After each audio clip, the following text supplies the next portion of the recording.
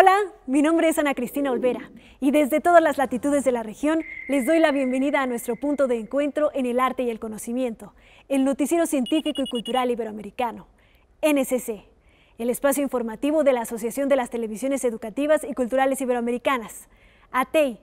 Acompáñenme en este recorrido de 30 minutos a descubrir lo que se produce, se investiga y se crea cerca de ti.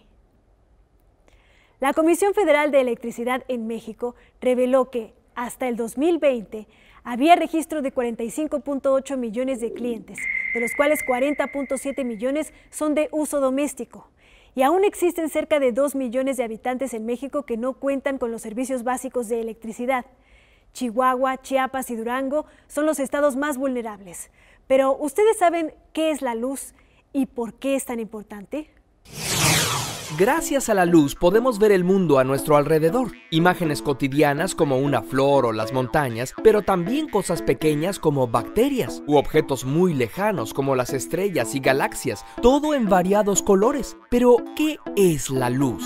¿Y por qué vemos colores? La luz es radiación electromagnética. Cuando dentro de un átomo un electrón pasa de un nivel de energía alto a uno menor, emite un paquete de energía al que llamamos fotón.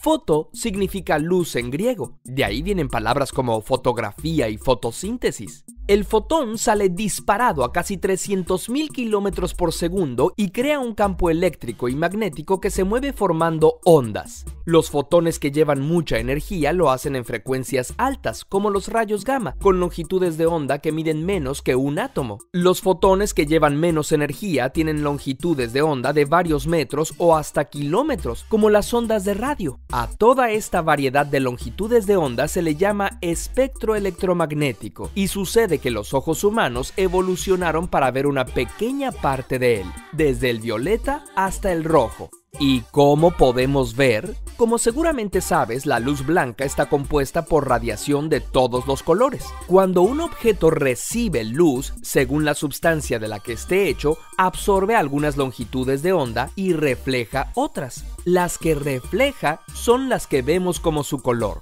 Un objeto verde absorbe todas las longitudes de onda menos las del espectro verde. Un objeto blanco refleja casi todas y uno negro absorbe casi todas. Cuando esa luz llega al ojo a través de la pupila, forma una imagen invertida en la retina. ¿Por qué se invierte? Porque la luz solo puede viajar en línea recta, así que si un rayo de luz viene de arriba y pasa por esa ventanita, solo puede llegar a la parte de abajo de la retina, y viceversa. La retina es como un mosaico de células entre las que se encuentran los fotorreceptores, conos y bastones, que son neuronas sensibles a la luz. Los bastones son sensibles a la intensidad, funcionan con poca luz y nos dejan ver en blanco y negro. Los conos son sensibles a los colores. Cuando los fotones llegan a los conos y bastones, se desencadena una reacción química que genera un impulso nervioso que llega hasta el cerebro donde es interpretado. La mayoría de los seres humanos tenemos tres clases de conos, cada uno sensible a una longitud de onda o color. Por eso decimos que tenemos visión tricromática. Otros animales, como los perros, solo tienen dos clases de conos y ven el mundo un poco diferente, con menos rojo en cambio, las abejas pueden ver colores como el ultravioleta. Y mientras nosotros tenemos tres tipos de fotorreceptores, la langosta mantis tiene 12. ¿Quién sabe cómo verá el mundo? Seguramente te has preguntado, ¿los colores que una persona percibe son iguales a los que percibo yo? Bueno, pues como nuestro sistema ocular y neurológico es prácticamente el mismo, casi seguro que sí. Eso si no padeces daltonismo, pero tu experiencia es subjetiva y personal y determinada por la cultura, así que no lo podemos saber con certeza. Por ejemplo, los Berinmo de Papua Nueva Guinea no distinguen el rosa como un color, curiosamente.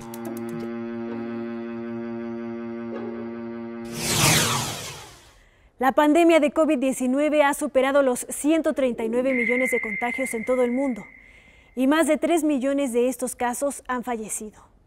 Entre los síntomas que más reportan los pacientes son dolor de cabeza en un 96%, 83% dolor muscular, 79% falta de aire y 78% falta de concentración.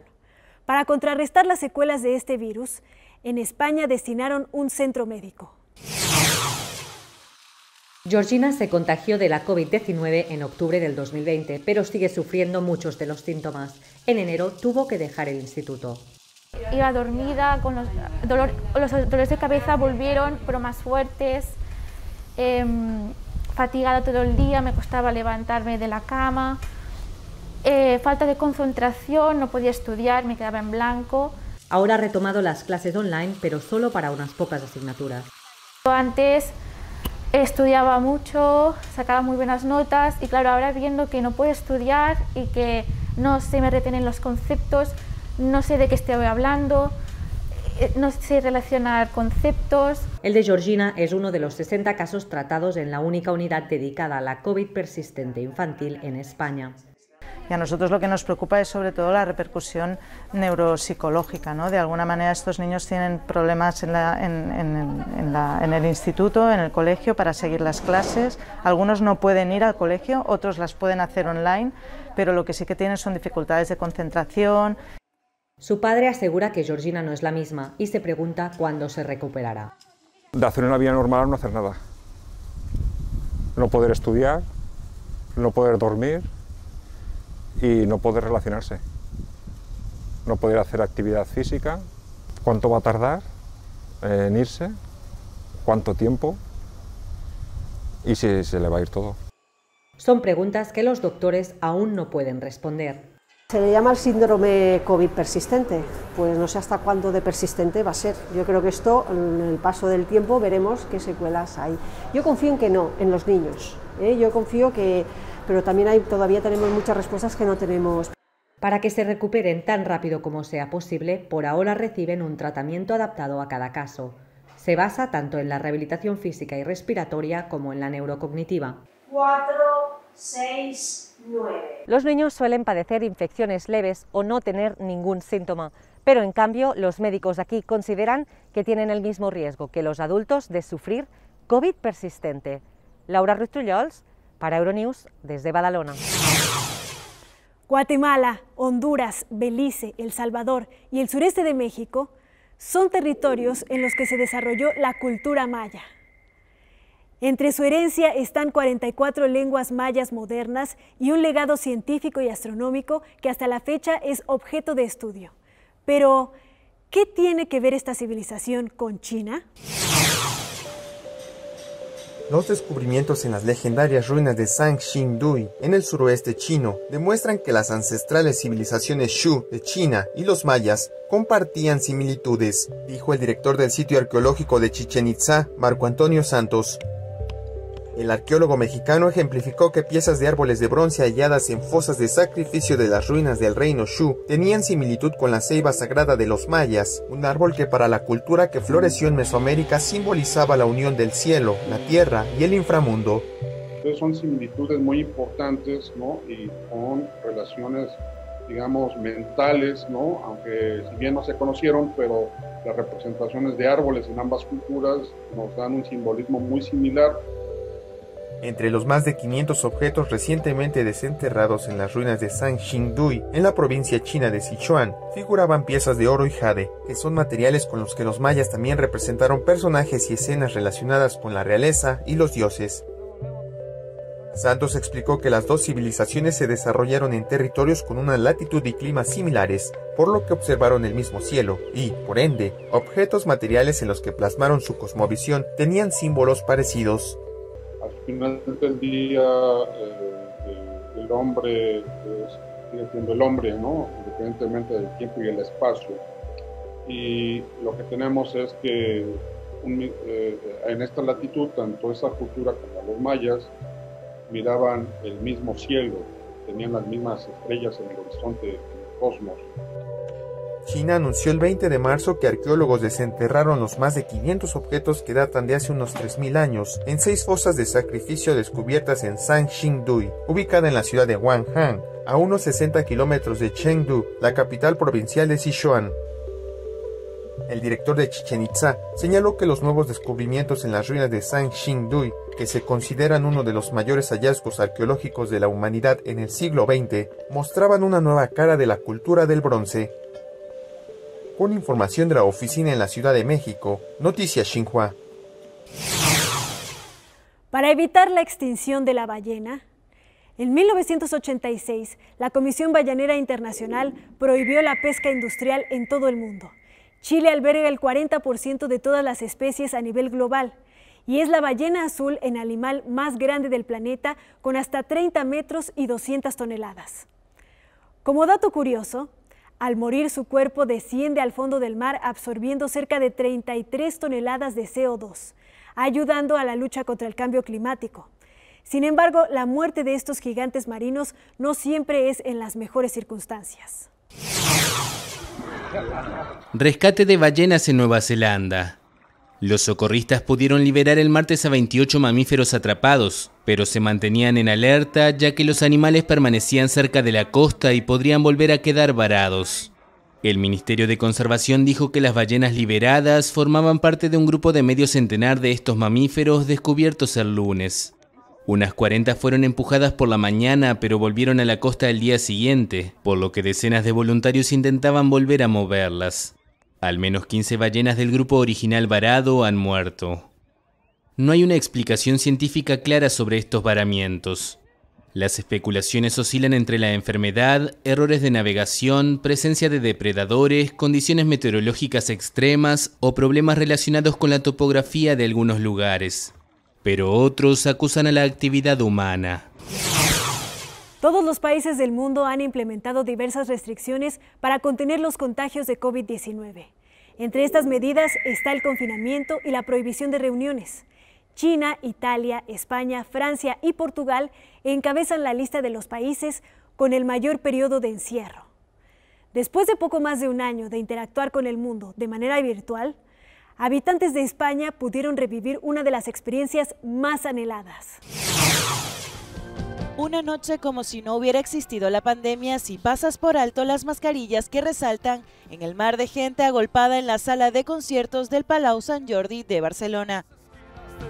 5.000 aficionados de la música rock disfrutaron de la presentación del grupo Love of Lesbian, una experiencia inimaginable en los tiempos que corren, pero posible gracias a las estrictas normas que se debían cumplir antes y durante del concierto.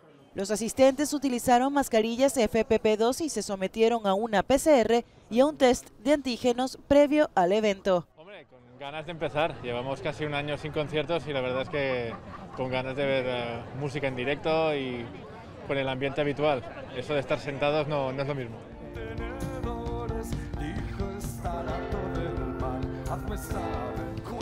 El concierto se produce después de un año sin precedentes con varios confinamientos, distanciamiento social y muy poca interacción social.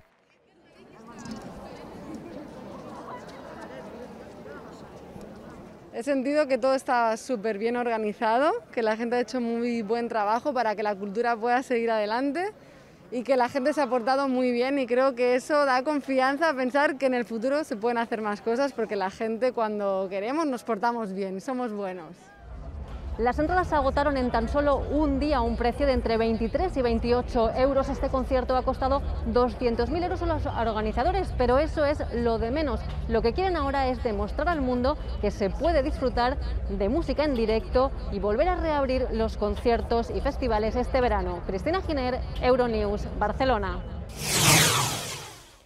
Cerca de 4.660 millones de personas en todo el mundo tienen acceso a Internet y en promedio cada usuario pasa 100 días al año navegando en la red.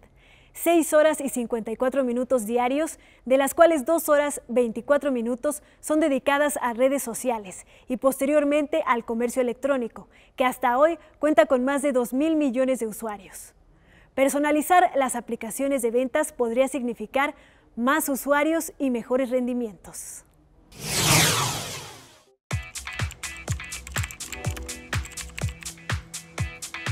La pandemia de COVID-19 ha puesto de manifiesto nuestra dependencia de la tecnología. Muchas marcas se replantean cómo conectar mejor con quienes compran en línea. Los consumidores de Oriente Medio se conectan cada vez más a Internet para comprar comida, verse, formarse, pero la venta de ropa ha caído bruscamente desde principios de 2020. Algunas empresas creen que es debido a que ciertas interacciones en línea necesitan un enfoque más humano, una idea que el proveedor de software GetBee con sede en Dubai ha capitalizado creando lo que denominan la primera plataforma personalizada para que las marcas conecten mejor con los clientes. Estos pueden ser asesorados por un experto de su confianza. La directora general de la empresa, antigua profesora, convertida en empresaria, asegura que mientras los beneficios globales de la moda disminuyeron en 2020, sus ventas minoristas en línea aumentaron un 28% de media en cuestión de meses para las cerca de 20 marcas que utilizan su plataforma. Normalmente la gente realiza la compra a una persona, por eso comprar en línea puede resultar solitario. El 86% de los clientes prefiere tratar con una persona antes que con un chatbot, por eso funciona la compra opcional personalizada. Chalum Middle East, que representa a clientes minoristas de lujo como Lancome y Faces, señala que humanizar las plataformas en línea es el camino a seguir, especialmente tras la pandemia. Nos ayudó a sobrevivir y nos ayudó a generar resultados que no habríamos logrado si nos hubiéramos quedado esperando a que nuestros informáticos construyeran plataformas de comercio electrónico para nosotros. Dada la necesidad de crear una tecnología más humana para ganarse nuestra confianza, los desarrolladores creen necesario introducir valores humanos en tecnologías más complejas como la inteligencia artificial y el aprendizaje automático para que sean dignas de confianza. Esto plantea la pregunta, ¿puede la tecnología mentir? La respuesta es sí, todo depende de los datos introducidos para guiar el aprendizaje automático. En 2015, el motor de búsqueda de inteligencia artificial de Amazon determinó que se tenían menos en cuenta los currículos con la palabra mujer. Un estudio del MIT descubrió en 2018 que los algoritmos de reconocimiento facial automatizado tenían mayores errores de detección hacia las personas de color en comparación con las de raza blanca. La oposición a cuestiones similares en 2020 hizo que Microsoft IBM y Amazon se negaran a vender su software de análisis facial a la policía estadounidense, por temor a la elaboración de perfiles raciales y a la vigilancia masiva. A pesar de ello, solo el 25% de las empresas consideran las implicaciones éticas antes de invertir en IA, según PricewaterhouseCoopers. La firma estima que la tecnología aportará unos 13 billones de euros a la economía mundial en 2030. La empresa emergente Datumcon entrena redes neuronales de IA para garantizar la seguridad de las perforaciones petrolíferas, rastrear la utilización de mascarillas y el distanciamiento social y detectar las emociones humanas con el análisis de sentimientos. El director general de la compañía afirma que la IA es superior a los humanos en la realización de tareas específicas, pero necesita la orientación humana para las más complejas como la detección de emociones que pueden incluir sesgos si no se guían adecuadamente. ¿Cómo se entrena el aprendizaje automático para que sea más humano o ético? Cada vez que vamos a implementar una red, digamos aquí en Dubái, nos aseguramos de que el etiquetado de los datos provenga de ciudadanos locales, porque queremos ser capaces de reflejar las características locales de los datos. Con la supervisión de un psicólogo, DatumCon utiliza 30.000 rostros diferentes para enseñar a detectar cada emoción básica. Todo ello en un esfuerzo por crear una tecnología más humana.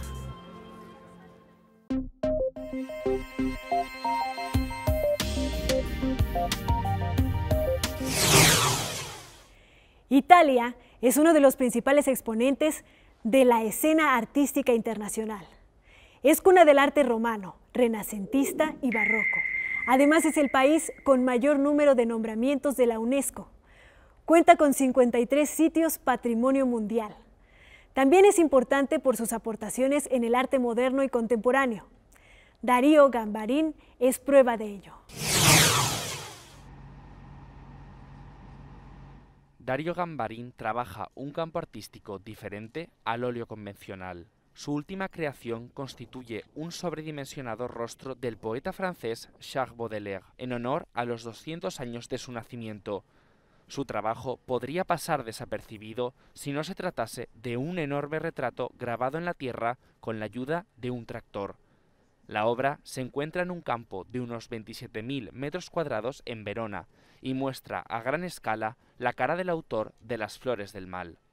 Beethoven, Nelson Mandela, Leonardo da Vinci, Dante, el Papa Francisco o Joe Biden. Trazo a trazo, como quien labra la tierra con su tractor, Gambarin ya ha realizado otras obras con rostros de personajes célebres. El artista asegura que en esta ocasión era el propio Baudelaire quien le estaba guiando desde arriba. Desde el año 2000, cada 18 de octubre se celebra el Día Internacional de la Menopausia nombramiento otorgado por la Sociedad Internacional de la Menopausia y la Organización Mundial de la Salud. Tan solo en Latinoamérica Actualmente hay alrededor de 37 millones de mujeres en esta etapa y el síntoma más frecuente es el bochorno con un 60% de los casos. Un grupo de mujeres de 50 años muestran una manera artística de reírnos de este proceso natural. Música, bailes y comedia acompaña la historia de cuatro mujeres que en medio de su menopausia cuentan lo mejor de su vivencia. Doctor, ¿cómo le parece que ayer me contaron algo delicado? Iba en el bus y me desmayé, un patatús. Se habla de Caliente Caliente, el show de las menopáusicas. El público ve a cinco mujeres que pueden ser su esposa, su hermana, su mamá, maravillosamente cantando, bailando y actuando, porque realmente después de los 50 es que se tiene todo este bagaje para poder hacer un show como el que ellas hacen. Marirene Toro, Ana Cristina Botero, Marta Liliana Ruiz y Margarita Amado son las cuatro actrices que calientan el escenario y se ríen de su llegada a los 50 sin reglas. Yo lo único que les quiero decir es que ahora realmente somos chicas malas. Sí, yo soy mala de la atención puedes decirle a tu mamá después, y mamá está con gadejo. Y ya todos sabemos que es gadejo. Entonces utilizamos esa palabra y hacemos una canción. Doctor, mire, eso es gadejo, puro gadejo. El formato musical es el distintivo de esta obra. En medio de cantos y bailes se encuentra implícito un mensaje para que todas las mujeres se sientan identificadas.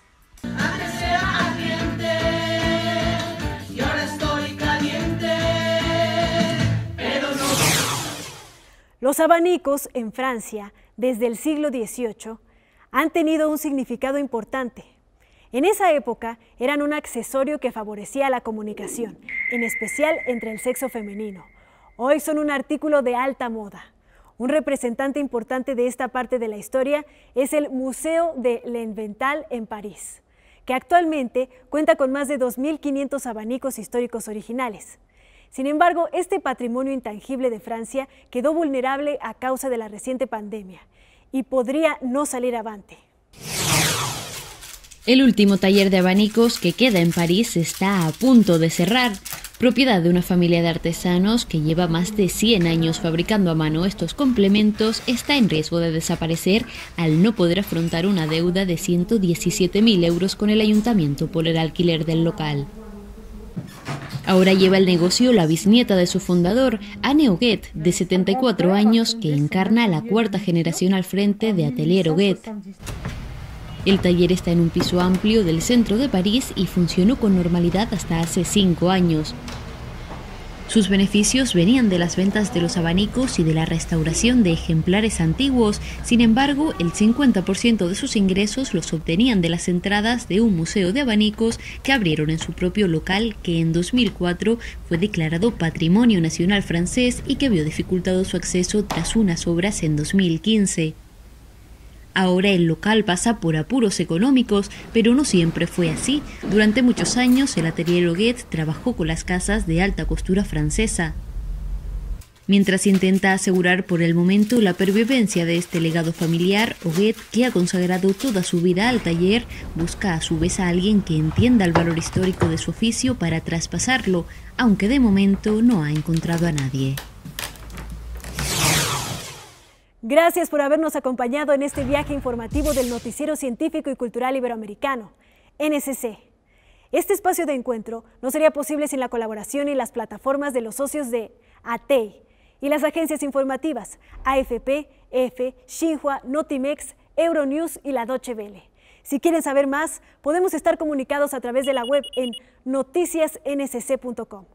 Y las redes sociales, nos encuentras como arroba NSC Iberoamérica en Twitter, Facebook, Instagram, YouTube y Dailymotion.